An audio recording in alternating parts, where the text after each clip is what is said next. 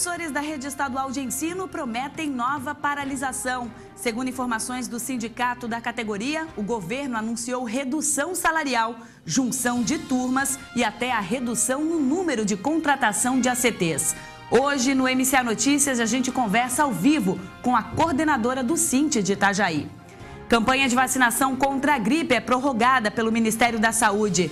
O objetivo é fazer com que o maior número de pessoas seja imunizado em todo o país. Prefeito de Navegantes faz coletiva à imprensa para anunciar recursos do governo do estado para a cidade.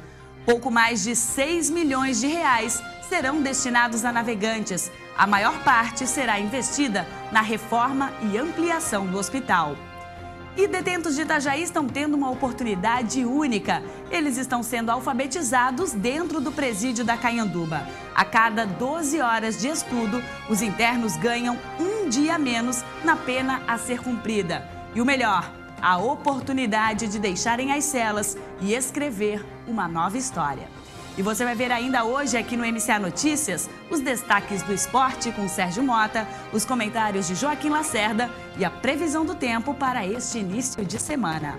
Boa tarde, feira 6 de maio. O MCA Notícias já está no ar.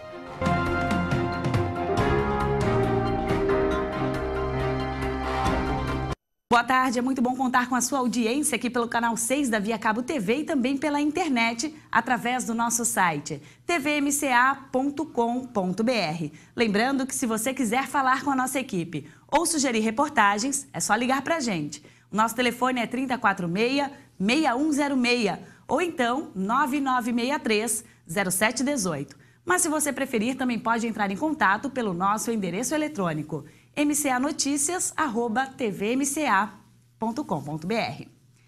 A campanha de vacinação contra a gripe foi prorrogada pelo Ministério da Saúde. O objetivo é fazer com que o maior número de pessoas seja imunizado em todo o país.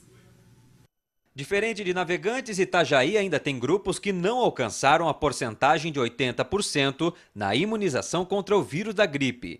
E pedimos que nesse momento as pessoas, principalmente as gestantes, né, que é um grande número que a gente não conseguiu um 80% ainda, e os profissionais de saúde que atendem diretamente na rede hospitalar e nas nossas unidades de saúde que também não conseguimos 80%. E é extremamente importante que o profissional esteja imunizado para que ele possa vir futuramente atender a uma das pessoas vítimas da influenza. Na média geral, a Secretaria de Saúde de Itajaí já registrou 22 mil imunizações, o equivalente a 81,2%. O Ministério da Saúde prorrogou a vacinação até o dia 10 de maio. E nós vamos continuar nas nossas 24 unidades e mais três unidades de pontos estratégicos que nós temos, vacinando toda a população até o dia 10. Os principais sintomas da influenza são náuseas, dor de cabeça e febre. Em caso de suspeita, a pessoa deve procurar um médico ou atendimento em postos de saúde do lugar onde mora. Bom, os grupos especificados pelo Ministério da Saúde incluem indígenas, profissionais da saúde, pessoas com doenças crônicas, mulheres no período pós-parto em até 45 dias, gestantes, crianças de seis meses a dois anos e idosos. Lembrando que a campanha segue até o dia 10 de maio, próxima sexta-feira. E a Secretaria de Educação de Itajaí deu início à entrega do uniforme escolar de inverno e verão. A distribuição está sendo realizada por seis empresas diferentes, vencedoras do processo licitatório. A previsão é entregar todas as peças até o fim desta semana.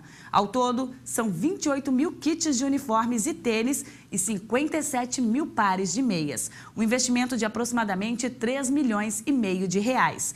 Mais informações sobre este assunto pelo telefone 3249 3346 ou então pelo nosso site tvmca.com.br. E amanhã aqui no MCA Notícias a gente traz uma reportagem completa sobre este assunto.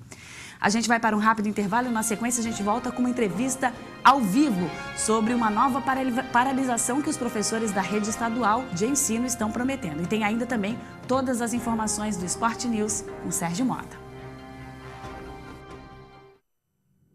Ao vivo da praia de Balneário Camboriú, o tempo segue Agora, meio-dia e cinco minutos.